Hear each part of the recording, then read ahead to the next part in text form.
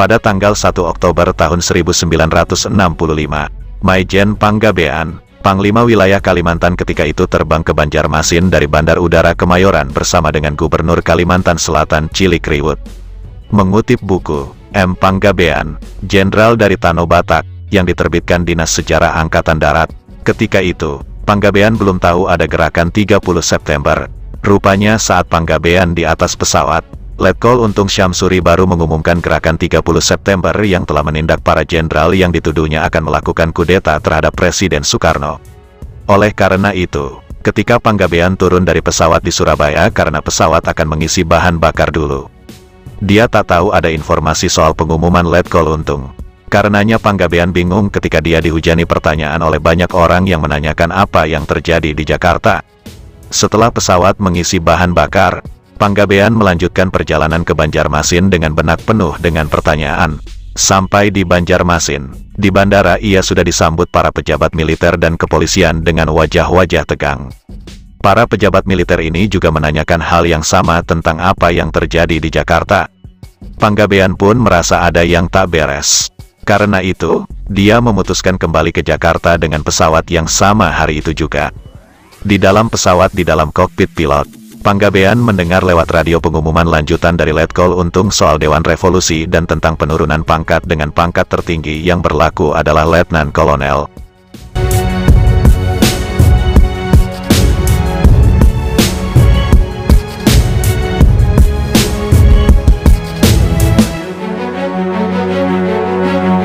Tiba di Surabaya, Panggabean turun, terminal penumpang sepi, tapi di luar banyak orang bergerombol dan juga menanyakan hal yang sama kepadanya tentang apa yang terjadi di Jakarta.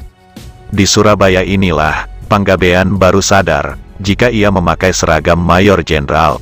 Sementara Letkol Untung mengumumkan bahwa pangkat tertinggi itu adalah Letkol. Sialnya, pesawat hanya sampai ke Surabaya karena ketika itu seluruh penerbangan ditangguhkan.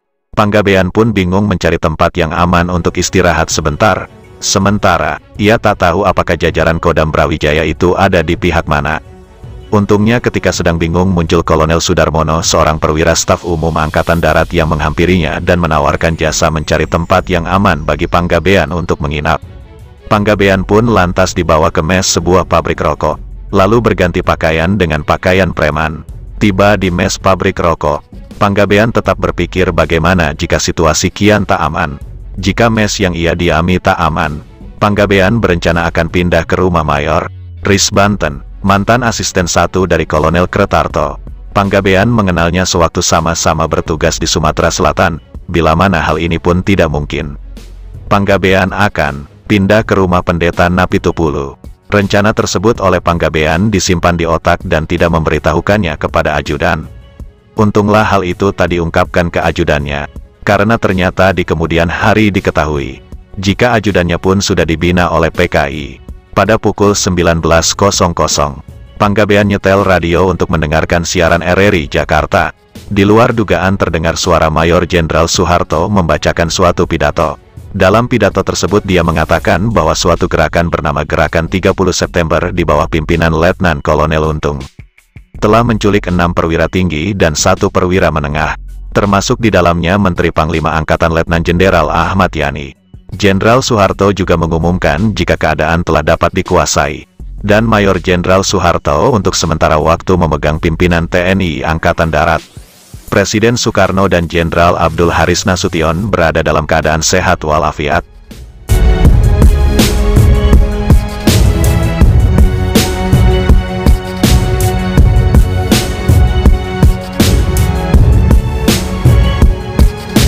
Panggabean sangat gembira mendengar pidato itu. Rasanya ia hendak meloncat-loncat dan menari-nari karena kegelisahannya hari-hari itu telah terjawab. Selanjutnya pada tanggal 2 Oktober tahun 1965 pagi, Panggabean memanggil becak untuk berkeliling kota melihat keadaan. Pada pukul 4.30 menit Panggabean perintahkan ajudan untuk melihat situasi markas Kodam 8 Brawijaya. Sejam kemudian dia kembali dan melaporkan bahwa situasi tenang-tenang saja dan tidak ada sesuatu yang mencurigakan. Kemudian pada pukul 6.30 menit Panggabean perintahkan ajudannya menghubungi Pangdam 8 Brawijaya Mayor Jenderal Basuki Rahmat. Ternyata Pangdam Brawijaya sedang berada di Jakarta.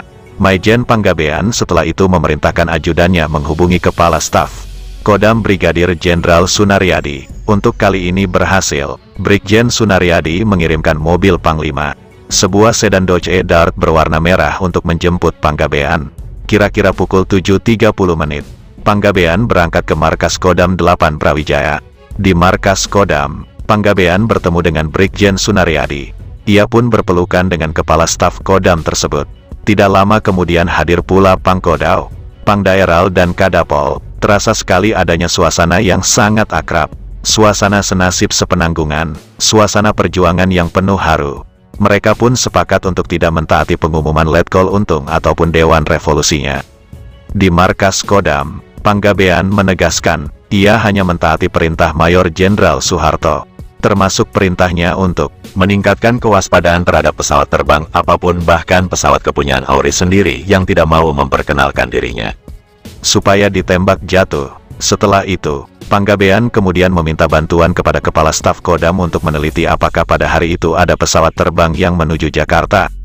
Karena ia ingin mengetahui keadaan yang sebenarnya. Sekaligus Panggabean ingin juga melaporkan keadaan di Banjarmasin atau di Kodam 10. Lambung Mangkurat dan di Kodam 8 Brawijaya kepada Mayor Jenderal TNI Soeharto. Sekitar pukul 11.30 menit Panggabean menerima berita dari markas Kodam 8 Brawijaya bahwa ada seorang pilot asal Manado yang habis cuti dan kebetulan akan kembali ke Jakarta. Apabila Panggabean setuju, pilot itu secara sukarela bersedia menerbangkannya ke Jakarta. Berita tersebut disambut dengan gembira, Panggabean pun segera menuju lapangan terbang di Juanda. Keadaan di lapangan udara sangat sepi. Tampak hanya tujuh orang saja, termasuk awak pesawat yang akan membawa Panggabean. Kira-kira, pukul 14.30 menit pesawat mendarat di Kemayoran. Kebetulan seorang anggota, Intel Staf Angkatan Darat sedang bertugas di tempat itu. Panggabean bertanya di mana Maijen Soeharto berada pada waktu itu. Di Senayan, jawab perwira Intel itu. Panggabean yang belum begitu mengenal kota Jakarta, meminta sopir mengantarkannya ke tempat Jenderal Harto.